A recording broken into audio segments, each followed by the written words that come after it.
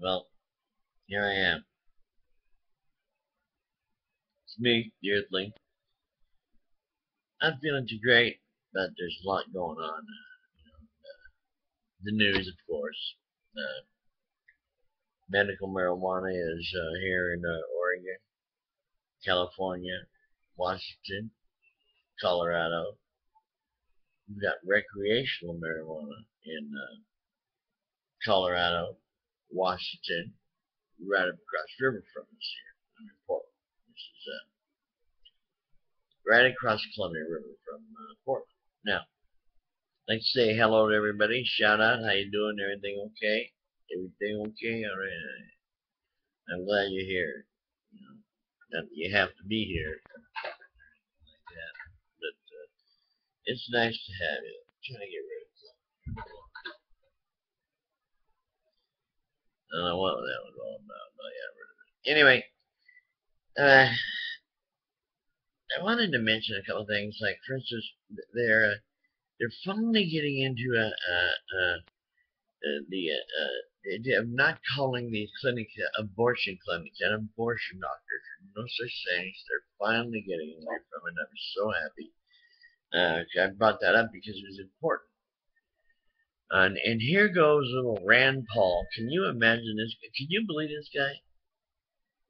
I mean, that is too damn funny. Goes right in front of the, the Urban League of the United States, another basically an NAACP, and actually tries to speak to them about poverty.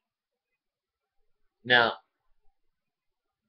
if it were me, I think I would have at least uh, maybe, you know, consulted someone. I would, you know, I think I would ask somebody, uh, is this a good idea? Do you think I should speak in front of all these colored folk? the guy's a fucking racist then, and he's gonna stay a racist. He's a piece of crap. Uh, it's bad enough we've got a freaking black man up there who's not even know he's black anymore. He actually, he's like a, he's like a little uh, a Republican in a new dress or something. Yeah, he's got me pretty fucking pissed off, man. I mean, this, I'm an independent now. I'm no longer a Democrat. Never was a Republican. I just couldn't do that. No fucking way. I'm Not doing it. However, independent. See, the thing is, when you're an independent, you don't have to worry about whose freaking primary you vote at. You can go have an effect on anybody's primary. You're an independent. You have a right to vote wherever you please. Unless your state comes up with some new goofy law like they, the way they like to. You know, you know how they're gerrymandering. It's funny they call it that. My name's Gerald. Anyway, so hold on one second. Mr. Biscuit, what are you doing? It's my kitty. He's over there messing with me. Pat me on the butt and grabbing for me like he does. Anyway, let's get back to this. It isn't a whole lot. This this isn't a whole big deal. But now, here we go. My brother, who's who's a Vietnam veteran, uh, is also working basically for the state, taking care of me because I'm a total. In, I mean, I'm a I'm a wreck. I can't hardly get out by myself. Can't hardly do anything by myself. Uh, I'm weak all the time anymore. I've got my nerves being destroyed. My muscles are being destroyed. I'm just I'm wasted. So I need, you know, uh, I need a caregiver.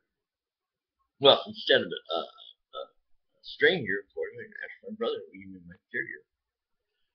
Goes, man, I got this business. You know, I can't. But uh, the guy, of course, he, he drops everything, comes to work for me. And here I am.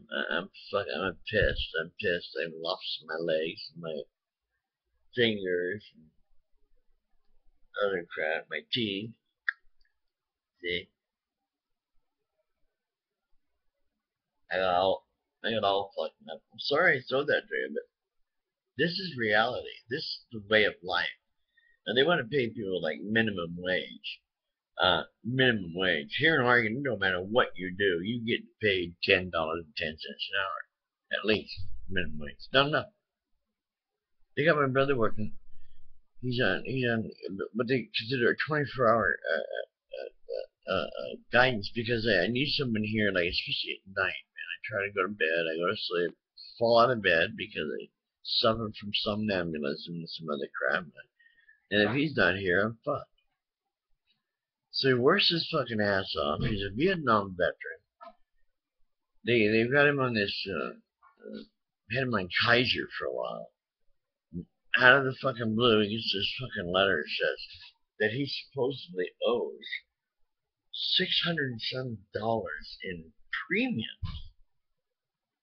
And it's like, what the hell? He never played premium before now it's in this new uh, Affordable Care Act. I mean, we love the idea that people can get insurance now.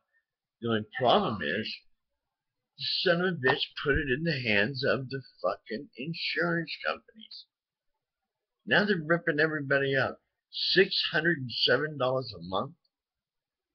Who goes to the doctors and spends that much money every month? Who does that?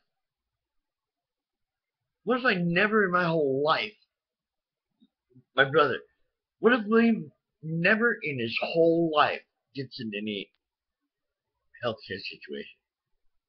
All the money he paid in, all the money these people pay in these insurance companies, are they going to get that back? Are they? I didn't think so. That's just one bit. You guys don't know. You're not even paying attention. My brother, I told you, he's a non-vet. He doesn't have to go to your stupid fucking Kaiser. Don't you get that? What you need to do is actually look at people's records and find out who they are, what they're about before you send them these I'm going to lose this customer letter. It's just stupid. It's like your people don't want to pay attention or something. It's bullshit. And, and to this day, I mean, it's like been 11, 12 years, and he's still, he's still at only $13 an hour. Can you believe that crap? It's bullshit is what it is. And that's, that's just one more thing.